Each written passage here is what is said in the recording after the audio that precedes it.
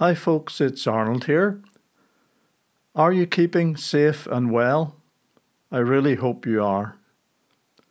When things are uncertain as they are just now, we look to the experts for the help and hope that we need.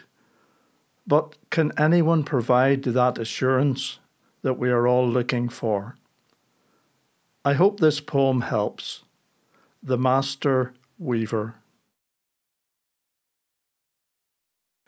If your life has lost its purpose and hope, and your pattern has been torn on the way, if the dark threads outnumber the colours by far, then please listen to what I will say.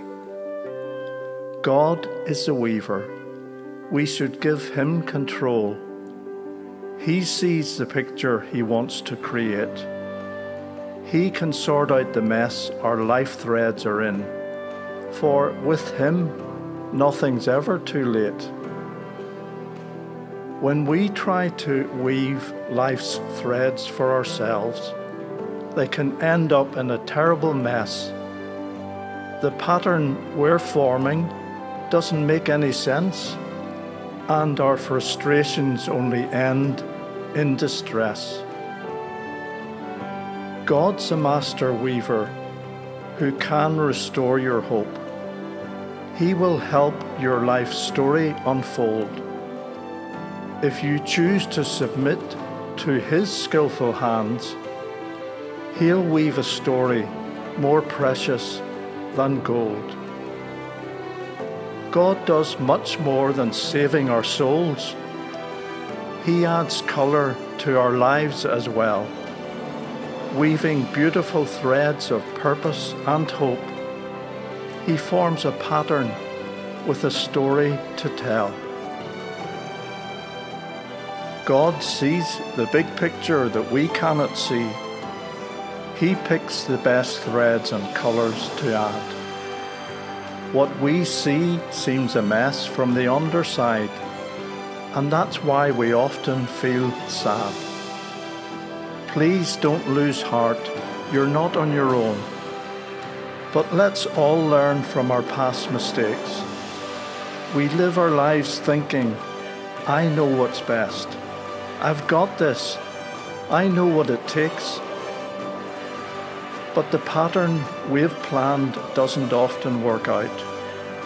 Sometimes life throws some very curved balls then those colourful threads we are holding are dropped and our life's weaving stalls.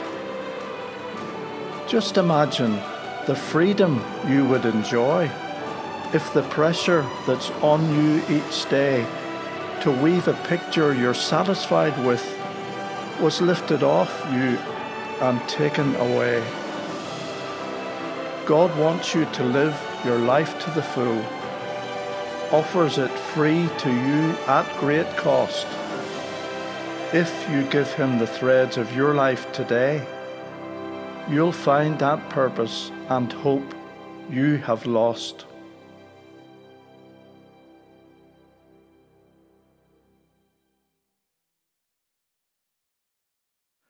Thanks very much for listening to my poem. If you've enjoyed what you've seen and heard, would you please give it a thumbs up? And for more like this, please hit the subscribe button.